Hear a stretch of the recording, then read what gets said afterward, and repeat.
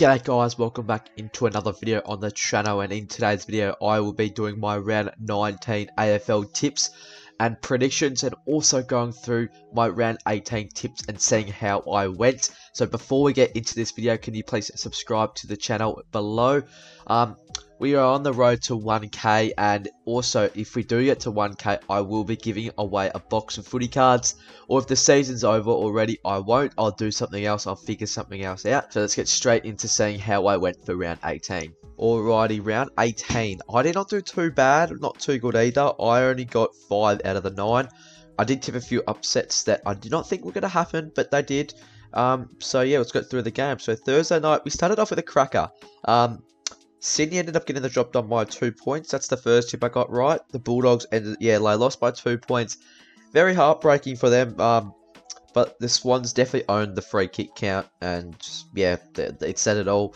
I didn't watch too much of this game. I watched, I watched enough to, to know that um, the Swans probably did deserve to win. Going to the Friday night, in my tips, I did tip the D's, but um, I changed it on the Friday to the Lions, and they only lost by one point in one of the probably the best Friday night games we'll see all year.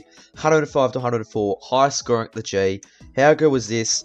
Um, came down to a Jakey Melksham um, moment, ice in the veins sort of play. Set shot from about 45 out, 45 meter angle, and just fades late in. And yeah, the D's hold on um, with about a minute to go, and win a classic Friday night game of footy at the MCG. Now moving on to the Saturday um, games, 145 at the G. Um, we got the Pies beat the Dockers. Did tip the Pies, and yeah, the Dockers they they just did not complete after that first quarter. That first quarter, it was very even, 25 apiece or something like that.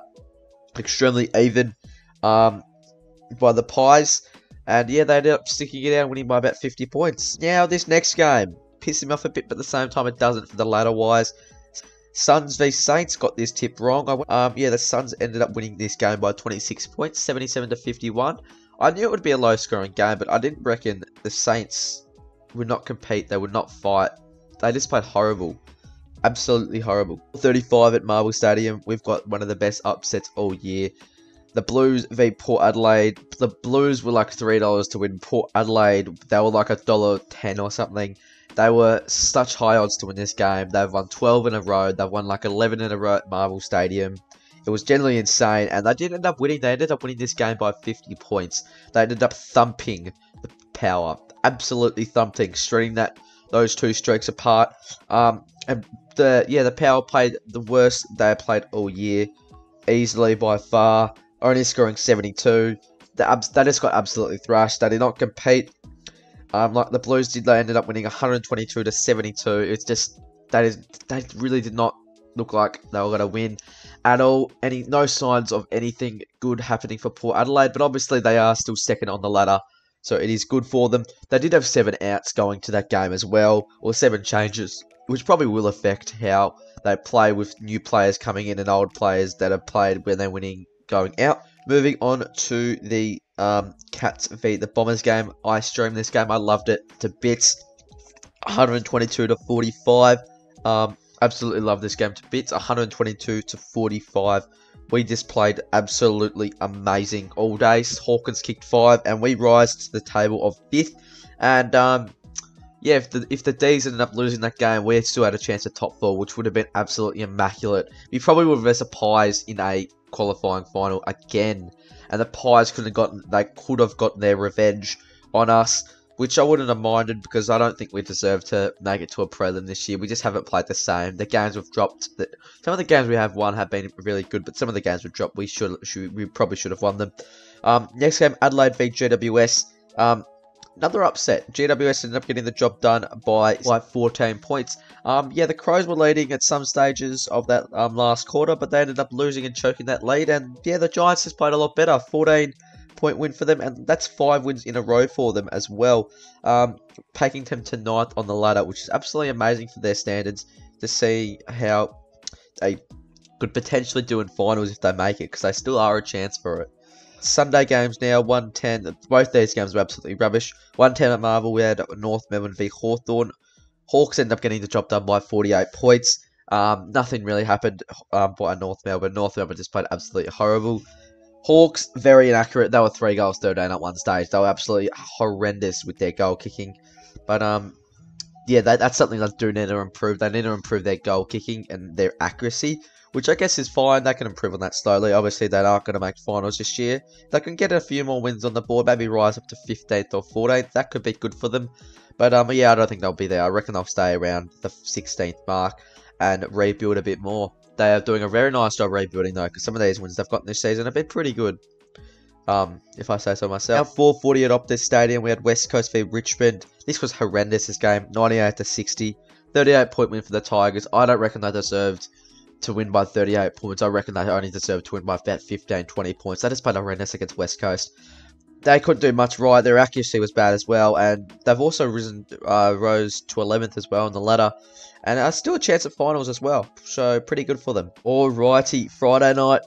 No Thursday night footy this week, which I'm really sad about because I did love Thursday night footy coming home from school on a Thursday night after footy training and tucking into some Thursday night footy. But Friday night footy at Marvel Stadium 7:50, we've got the Bombers beat the Doggies. Very tight, tight race. I reckon the Bombers will lose this though. The Dogs will win by 12 points, and um, yeah, we will see how this game turns out. There is a chance the Bombers could win because I know we do snag wins that they're not really meant to be getting, like a, a, random win, one of those random wins that you wouldn't expect them winning. But I'm going to back in the Doggies by 12 points. Saturday afternoon, 41-45 at the G. We've got the Tigers v the Hawks, and I'm going to back the Tigers to win this game by 25 points. I reckon they will hold on and get another win. I think that's potentially three or four wins in a row from the Tigers. That new coach is doing him quite well. I think Andrew McQualter or something like that has definitely doing bits for them club that club. But um yeah, we'll see what happens. Now two ten at the at Marvel Stadium, we have the Blues v West Coast, and I'm tipping the Blues to get the job done by 47 points. Obviously, they will smash them, but um they'll absolutely annihilate them like I did last time. Um, but they they won't do as well. West Coast are competing. They are definitely competing. They're playing a lot better footy than what they were doing about five or six weeks ago. Playing up after that Saints game, I reckon they got a bit of hope that they could win another game or two to end this season, but it's not looking too good now. I reckon they'll win by 47 points now, the Blues, and Curnow will probably bag a bag of five or something like that. Next game, 4:35 at the Gabba. We've got the Lions v the Catters. I know this is does sound a bit biased, but I'm going to back us Catters to win this game, and we're going to win this game by four points in a very good game of footy in the Gabba. I know we don't win there often in at the Gabba. Obviously, Ash, you remember Ash McGrath. Um, you, you, you probably remember a few years ago Lincoln McCarthy. Um, you remember a few annihilations there as well from uh, um, from us losing. But I do back us in. I do think we will and have a chance have a chance of winning this game. 7:40 at Optus Stadium. Um, Freo v Sydney.